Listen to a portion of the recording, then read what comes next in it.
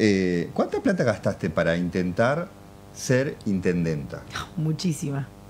Mucha. ¿Y quién te la financió? Mi, mi negocio, mi bolsillo, mi ¿Tuviste ofertas de alguien para financiarte la campaña? Nada, ninguna. Ninguna. ¿Esperabas que alguien te financie la campaña? No, no. No, sabía que no iba a pasar. Porque los que financian están atrás del ganador. Del que ganó, estoy hablando, ¿no? ¿Y qué ibas a ganar vos si perdías? ¿Cómo pasó? ¿Qué gané? Digo, si uno puede presuponer una, una- un posible resultado, Sí. ¿qué ganabas? perdiendo, decimos como ahora, yo creo que gané mucho apoyo, em, que me consolidé como la oposición, porque el resto de quienes decían ser opositores, eh, muy entre comillas, no están, no aparecieron, al día de hoy ya desaparecieron de la, de la escena política social de Bolsón. Entonces creo que ese es, que, creo que esa por ese lado pasa tanto mi ganancia como la de mis compañeros, ¿no? De que, de que nos presentamos, de que nos juntamos a último momento y, y estamos acá, y estamos. En todos hay un ganador y vos estás en segundo lugar. Eso no quiero decirte perdedor, pero te- en el juego de ganar y perder, el que. Pero digo, estar en el segundo lugar tiene un peso. Claro, por su, una responsabilidad.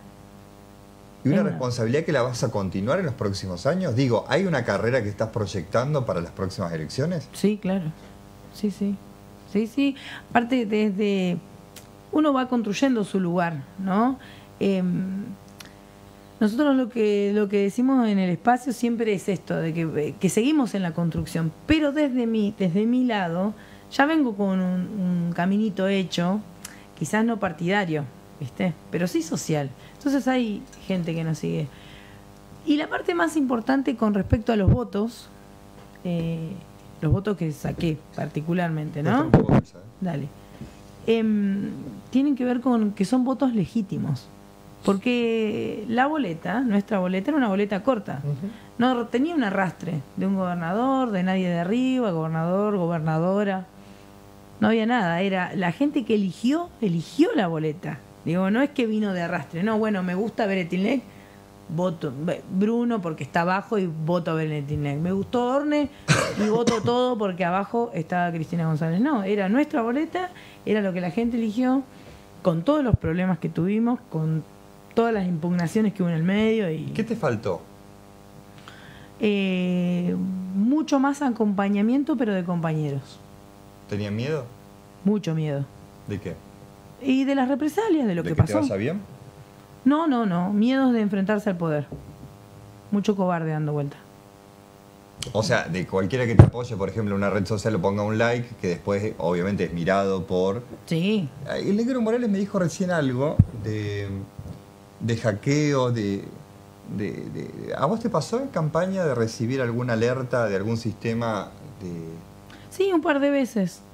Pero bueno. de intento de, de- de entrar en tu cuenta? Te intento entrar en mi cuenta, sí. Haters, ¿tuviste? Haters son la gente que se que los, los que se dedican a odiar y que por lo general son tienen cuentitas. Sí, y- pero tenemos dos. A ver, dos cosas.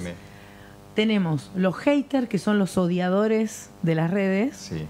que en la mayoría hay mucho odiador en Bolsón, que perfiles reales. Y después Sí. tenés los trolls pagados, este que sí, ese Hay un ejército acá de trolls. Uh, olvídate. Y vos los ves porque son creados. Vos, Sí. vos fijate sin ir más lejos, ¿cuánto están creados esos trolls? ¿Cuándo están creados esos perfiles? 2015, la mayoría 2015 Sí. están creados y otro tanto más grueso está creado en el 2019. Fíjate. ¿Y sirven para algo?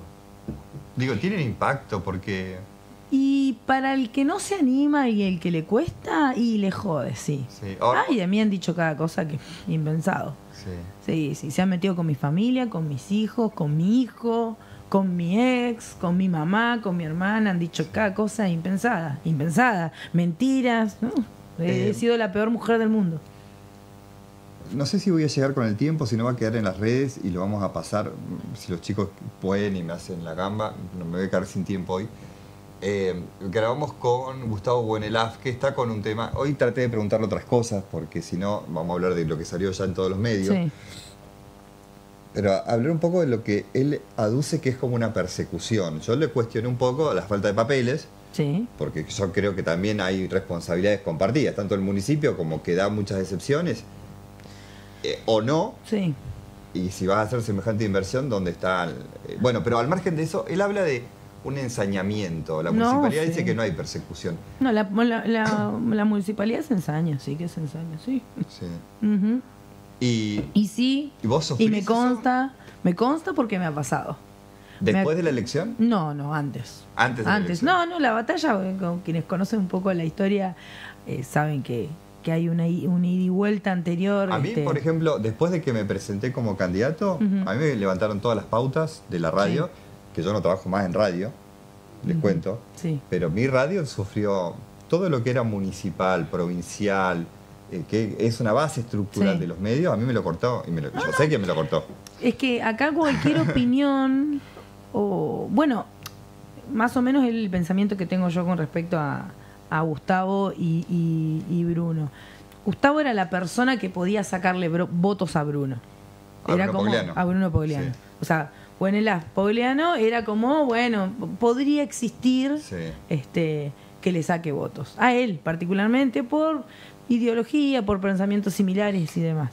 Pero, pero ahora esto se ha, ha cruzado un poco los límites, ¿viste? Con Pero yo no creo que sea Pogliano el que, el que manda, yo creo que hay detrás un grupo de, No, no, es él y su conjunto. de conservadores del puesto de, de la pastería, ¿viste? ¿Viste que está el grupo de ñoquis? Sí.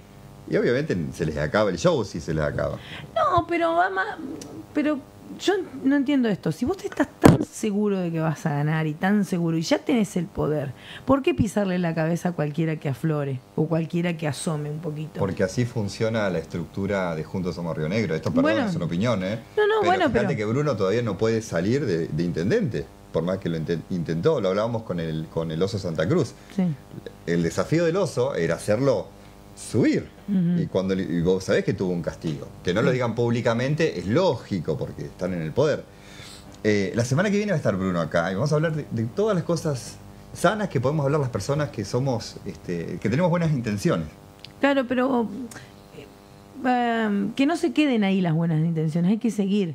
Pero cuando vos lo empezás a mostrar, siempre hay una represalia, ¿viste? Siempre hay un poquito más allá. A ver, hubo una promesa acá al aire en el debate de juntar a la oposición. en estos mismos micrófonos. Claro. sí.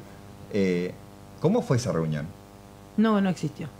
Bueno, por ahí todavía no se organizó. eh, No se dio, nosotros desde el partido, desde el Movimiento por el Bolsón, largamos un comunicado, bueno, hablando un poco de, de nuestro segundo lugar, de, de los pocos votos que le faltaron a Reinaldo para entrar en el Consejo. ¿Cuánto le faltó a Reinaldo? Mira, según los números, faltaron 80 votos. Este, cuando él fue a Viedma a pelearlos, quedaron algunos más de diferencia, un ¿Te poco robaron menos. votos? Y sí hubo, hubo muy, mucha ignorancia de, de las personas que estuvieron a cargo de las presidencias de las mesas, eh, personas que no tenían capacitación y mucho fiscal de Juntos Somos Río Negro que manejaba como quería las cosas. Así que sí, no, no estuvo claro. ¿Sos buena perdedora? Sí, claro. ¿En qué perdiste? Marcando el tema este puntual. Generalmente no pierdo nunca, ¿viste? Pero... La empatás. Mm, Pero la rezapata, ¿viste? Eh, generalmente no, pero en este caso, este debe ser mi ¿Cómo se llama tu marido? Johnny. Yo no quiero estar en lugar de Johnny. Una discusión. de- de- vamos a hablar con Johnny después. No, bueno, pero con Johnny vamos a la par, eso no, eso no vamos a la par. Eh, creo que es la primera vez que pierdo, realmente. Anteriormente no había ¿Y perdido. cómo te afectó? Porque más allá del personaje que tenemos todos, ¿cómo te preparaste para ese momento? El primer día fue como, viste, como un, perro abajo de la lluvia que vos decís, uy, me sentí, pero, pero analizando el contexto es como que al otro día decís, no, pero pará, fui segunda. O sea, no, no es que, ¿y a qué me estaba enfrentando? ¿Y con qué herramientas me enfrenté? ¿Y con qué financiamiento? Que como vos me preguntabas al inicio, es financiamiento propio, eh, con lo que, con los recursos que uno tenía, con los pocos compañeros que estaban. Entonces como, Ana, y mañana habla Cristina. sí. Hay un acto que, que como además es feriado, se espera multitud, hay fanáticos que la esperan y los que no son fanáticos la van a mirar igual. Sí, a, a la ames o la odies, la mirás igual. ¿Qué esperas que diga mañana Cristina?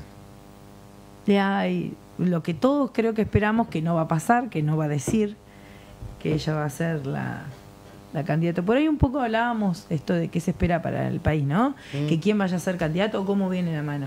Eh, yo digo, bueno, idealizando uno dice Cristina, pero también hay que hacer un mea culpa y un análisis de que no tenemos nadie más, que no se construyó nadie más en el tiempo. Axel. A mí, Scioli. vos me decís, si querés que te diga mi fórmula perfecta, Ah. Ax- Axel Kicillof, Victoria Tolosa Paz. Vi- Victoria Tolosa es la de desarrollo. Sí. Esa para Sí. mí es la fórmula perfecta. Ahora, ¿La conoces a Victoria? eh, la vi en una reunión nada más, así, porque vino, y, pero no, no, no, no. Sí, nada. ok. Pero les, la sigo, me gusta. Eh, me marca mucho de la mujer, de la política, pero laburante. ¿Y de Revela qué pensás? Digo como política, más fue, allá- fue muy funcional, eh, sirvió y la desecharon. Y no, no peleó, creo que no peleó como debería haber peleado. Y nada, mm, defraudó, defraudó mucho con esto, ¿viste? Dejarse utilizar y después no, no reaccionar y reaccionar a lo último, porque bueno, ya te como que la tiraron a la basura para mí. Fue horrible. ¿Cómo, ¿Cómo generas el tiempo en tu vida? Porque haces un montón de cosas. Sí. Yo hace dos, tres semanas, cuatro, que más o menos hablo con vos y yo no puedo creer cómo genera el tiempo. ¿Dónde sacas el tiempo? No, no, no sé. Soy, soy un. Trato de ordenarme, pero sí, me- ha- hago muchas cosas. Y entre. Llego a mi. cor- arranco a la mañana llevando a la nena al jardín. Sí. Y de ahí. El raíz de los comercios. Y de ahí no. no ¿Cuánto paro. trabajo das? Y familiarmente eh, tenemos como 16 empleados entre lo que es familiares y sumándole la cretina serían unos 22 empleados más o menos. ¿Y Sí. se puede mantener eso acá? Sí, se puede. Sí, se puede. Se puede, cuesta, cuesta un montón, pero se puede, no, no es difícil. No, o sea, tiene una complejidad, digamos, como todo comerciante que sabes que tenés. ¿Vivís en los abogados? No, no tanto. ¿Viste ¿eh? que dice que el que Sí. tiene comercio vive con los abogados? No, sí, sí, lo tengo ahí a mi abogado. Le mando un saludo a ¿Quién es tu Darío? Darío Barroero.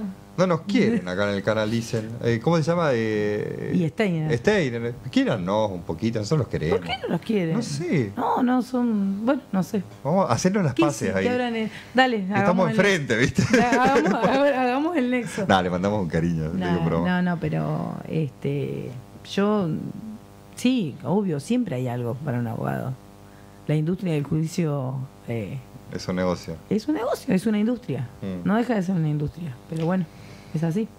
Eh, bueno, hay mucho para trabajar para adelante en política. Sí. Ya te vamos a invitar otra vez. Hoy era un poco eh, aprovechar, eh, Mm. tener, tenerte acá. Decirme qué sensación te, te queda en esta construcción y qué esperas que haga la gente. Porque también hay mucha gente que te acompañó, están en números Sí. y están en los que no fueron a votar, que es la misma cantidad que las Sí. que fue. Sí, exactamente. ¿Qué esperas que haga esa gente? ¿Se acerque a vos? ¿Te siga en redes? Sí, sobre todo que despierte. Que, que la que me acompañó, que ya está, ya despertó, y la que no me acompañó porque no fue, pero sí ideológicamente sabemos que pensamos parecido, eh, que despierte y, y ya empieza a reclamar cada vez más. Estamos en un bolsón totalmente inseguro, con unas carencias tremendas. Y sigue el mismo gobierno, entonces no es sigue lo mismo y no digo nada.